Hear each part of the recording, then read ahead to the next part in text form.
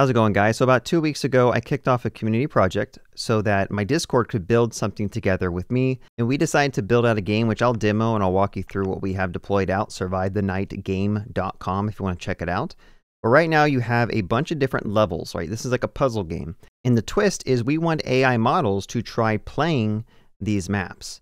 So every hour we basically have a cron job that kicks off a bunch of different AI models. They run through all the different levels. I think we have like 20 or so different levels, which you can actually come through here, log in and play by hand if you want to. But we wanted to see like how well can models play a simple puzzle game. And so far they're doing pretty good, right? We have GPT-4o doing 8 wins, 12 losses, and we have Perplexity Llama doing six wins, 14 losses. So they're doing better than I thought they would. So before I walk you through all the features we have, I do want to say that this community project was sponsored by Convex, which is the backend as a service we are using. It gives you a bunch of features where you can just write your API endpoints. It has a built-in database. It has file storage. It has a lot of vector searching if you decided you want to do AI stuff. Lots of cool features, and I use Convex on basically all my side projects because it just helps me move so much faster than just using Next.js by itself. So the first thing that I want to demo out is that we have the ability to sign in. So we have a Google sign in and a GitHub sign in. And I want to state that this is all built in the Convex. Convex released a Convex auth package, which is in beta, but it gives you the ability to do OAuth sign in out of the box, and it's really easy to get started. So let's just go ahead and sign in with GitHub, and we should be able to start playing the games manually. So like if you go to play here, you can see all the games and maps that you have not beaten yet. Let's just try to play one real quick. Let's let's play this one. Let's talk about the rules of the game. So when you start off, you can place your player, which happens to be this robot character, and you can also place two blocks. So I can go ahead and block these zombies.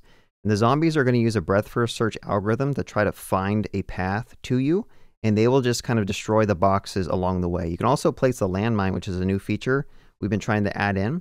We have been trying to add in different mechanics to the game just to kind of spice it up a little bit. But the way the landmine works is if a zombie were to hit the landmine, it just blows up, right? Versus the boxes just kind of delay the movement. So let's just run the simulation and then you can see the zombies kind of moving through. And a player is going to shoot at the closest zombie every round. Okay, so if you beat the level, you'll get you survived and then you can move on to the next night. Again, this is all a work in progress. This this whole page needs to be kind of improved. The UX isn't the best. So this is the idea of the game, you can manually play through these if you want to. We also have a playground. So if you want to go and build a map yourself and then test it, you can do that. So I'm going to go ahead and make a map that looks kind of like this. And then I can say play map. And then I'll place my player and some blocks. I'll run the simulation. And we will see that we will easily win this map. We can go back to the edit page and we can submit maps. So that's something that if you want to come in and try to make a map and submit it, you can do that. In doing so, we have an admin review feature. So I am set up as an admin account. I can come in here and see all the maps that people have submitted, and then I can review them or reject them, or I can play them myself to see if I can even beat them. That's kind of how the game works, but let me show you the cool feature of how does AI play this game. Now, like I mentioned, the idea is that every hour we kick off a bunch of games and these AI models play through them. Turns out that Convex has a built-in cron job function where you can just define a cron job and have it run at whatever interval you want. And you can just call some type of function and it's going to run whatever code you want. So in our project, if you go and look at the crons file, you'll see that we call run active model games every interval. And what this does is it queries all of the models that we currently have in the system and it basically kicks off a chain reaction of gameplay. So it's going to run map one, and if it wins or loses map one, it goes on to the next map until it hits the very final map in the system. So I can actually kick that off real quick. This is the Convex dashboard that gives you access to all of your Convex data, all of your functions, your mutations, your queries you can call, your files, your crons. What we want to do is find that function. So I call it run active game models. And then we are on production right now. You can actually switch back to development if you want. So let's manually kick off this function. I'm going to go ahead and run it. And then I will unlock it so I can run it in production. And I'm going to kick that off. And now when I kick that off, you'll see that in this dashboard, we have a bunch of different games that these models start playing through. So you'll see over here, we have Gemini playing a game. We have GPT-4o playing a game. We have uh, Claude playing a game. So for example, if you want to see how Claude's doing, we can go ahead and click on this game. And that'll give us a list of all the maps that it's playing through. And to kind of show what's going on, if you go to the Convex Schedules tab over here in the Convex dashboard, you'll see that it's scheduled off a bunch of different maps to play through. Now there is some delay between when it plays through these maps. You'll notice that this is just kind of stuck here because a lot of these models have rate limits and you can't just hit their API over and over again. So I added about a minute delay between every game to avoid that and also just to slow down costs because using these models costs money and you don't want to just run through a bunch of games. So you can see here it kicked off the second level and it actually won. So Claude is winning through level one and level two. If we go back to the watch tab, we can see that some of these models are doing pretty good. Other models seem to be failing for some reason. And that is coming from Gemini. So we are doing a lot of trial and error with trying to figure out like, can these models play these games? And this is some of the stuff that we run into. Like you hit an API and it just fails. And so what do you do? Do you retry in a minute? You just let it consider this model as a failure? It lost playing that level. But overall, it'll play through every single level and then it stores a result and a reason as to why it did what it did. For example, let's check out night three and figure out why it decided to put the player right here. So it says, I picked these locations because placing the blocks at 1, 0 and 2, 0 creates a barrier between the zombies and the player. This will force the zombies to take a longer path to reach the player, giving the player more time to throw popsicles. Now, I added throw popsicles instead of shoot at because Gemini, the AI model that we're using, seems to throw a lot of safety uh, errors if you were to say like shoots or gun or whatever. It's, it's ridiculous. But I just kind of replaced some of the keywords so that the models can actually like play the game. I found that pretty funny. But placing the player at 2-1 ensures that the player is not directly next to the zombies and is protected by the block. So this level is actually kind of hard to play as a human. I'm surprised that some of these AI models were able to beat it. Granted, some of the stuff might be just random chance that it happens to beat the maps.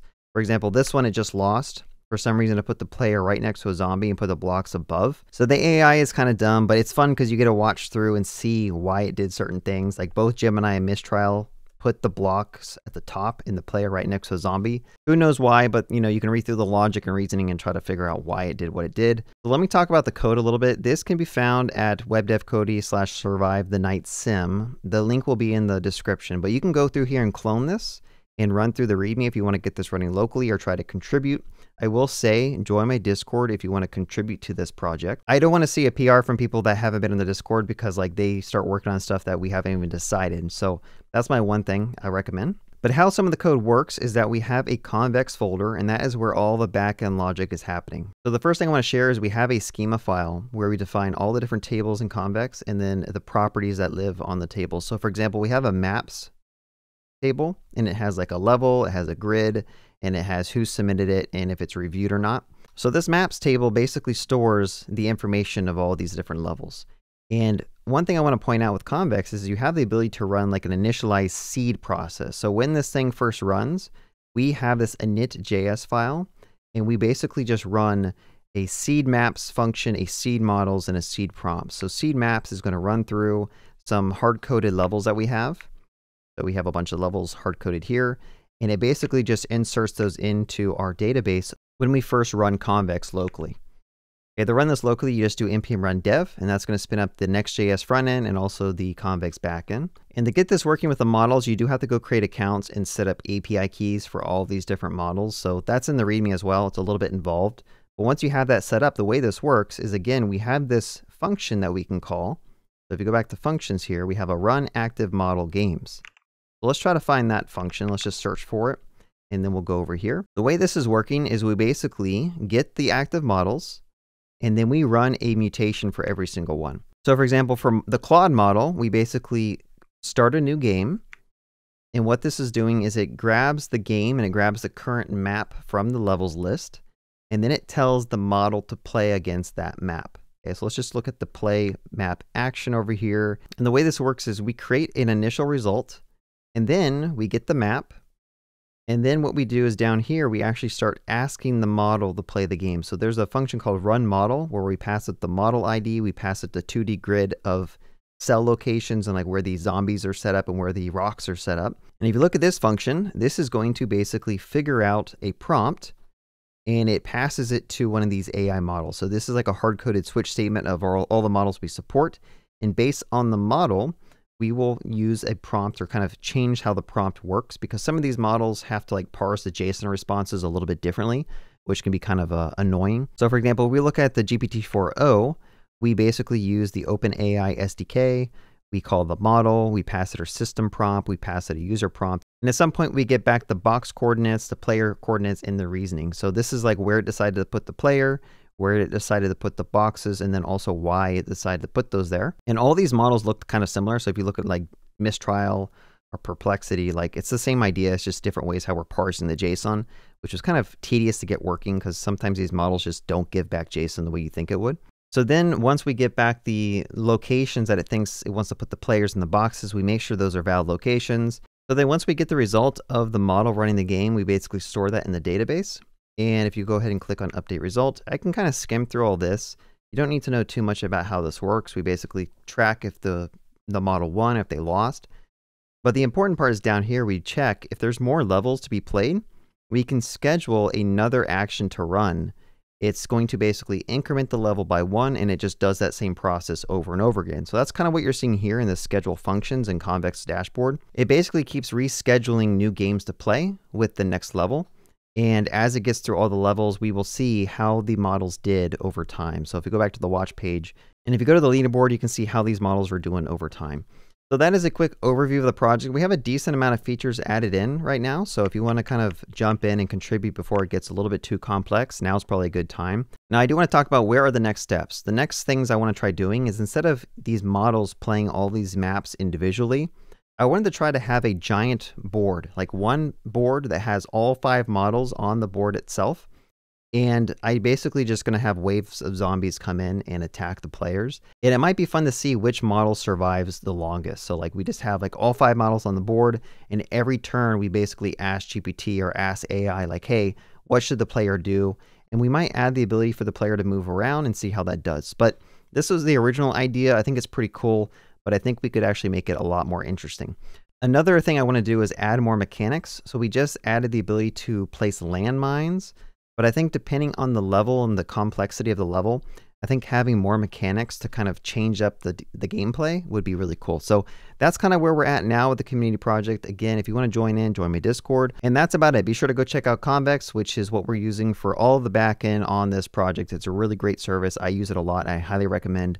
And other than that, have a good day. Happy coding.